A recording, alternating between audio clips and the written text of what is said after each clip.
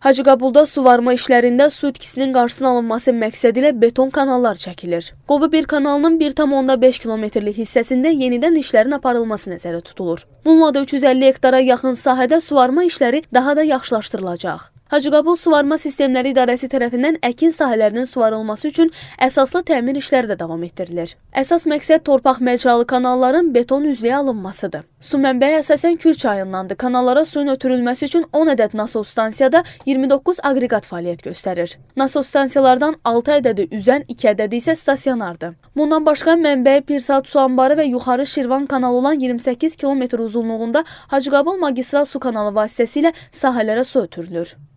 Hacıqabur suvarma sistemlərinin balasında olan kanalların 584.1 kilometrdir. Bu kanalların 413.8 kilometri torpaq məcralı, 133.6 kilometri beton örtüklü kanallardır. Bundan əlavə 24.4 kilometr nov kanal, 12.3 kilometr isə qapalı şəbəkədən ibarətdir. Ötən il ərzində suvarmanı e, səmərəli aparmaq məqsədi ilə və su itkisinin qarşısını almaq məqsədi ilə e, Ərətli kəndi arasında yerləşən Qobu 1 kanalının 2.3 e, kilometr torpaq məcrası beton üzlüyə alınmışdır ki, bu da su itkisinin qarşısını xeyli almışdır.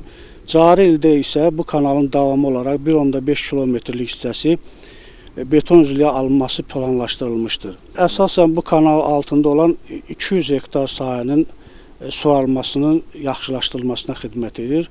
Bundan əlavə bildirmək istəyirəm ki, e, suvarmanı aparmaq, mütəşəkkil aparmaq məqsədi ilə su itkisinin qarşısını aparmaq və səmərəli istifadəsi üçün yerli kənd təsərrüfatı idarəsi, sudan istifadə birliyi və suvarma sistemləri ilə birlikdə su, sudan istifadə qrafikləri tərtib edilmişdir ki, bu suvarma da bu qrafik əsasında aparılır.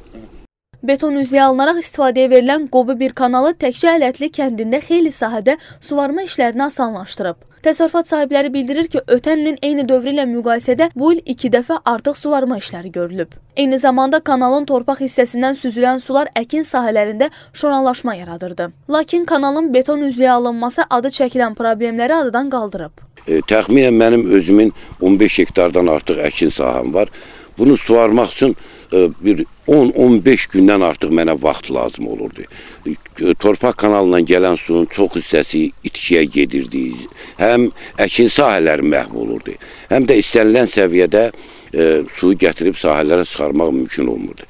İndi şükürlər olsun ki, həmin e, bizim üçün çətin olan, problemli olan torpaq kanalının yerində e, yaxşı, xoşa gəlimli, hər cür tələbata cavab verən e, beton kanal çəkilmişdi.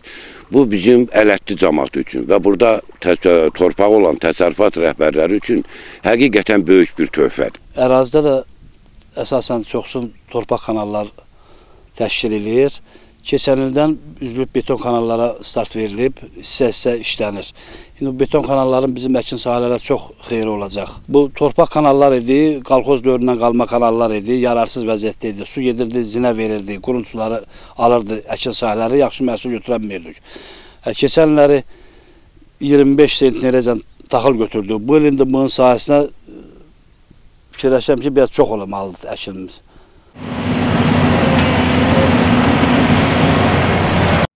Qeyd edək ki, əkin sahələrinə xidmət üçün idarə tərəfindən ümumilikdə 750 ədəd hidrotexniki qurğu fəaliyyət göstərir. Suvarma işlərinin yaxşılaşdırılması üçün son dövrlərdə 40 ədəd qurğuda əsaslı təmir işləri görülüb. Həmçinin 75 kilometrlik torpaq məcralı kanalda lildən təmizləmə işləri görülüb.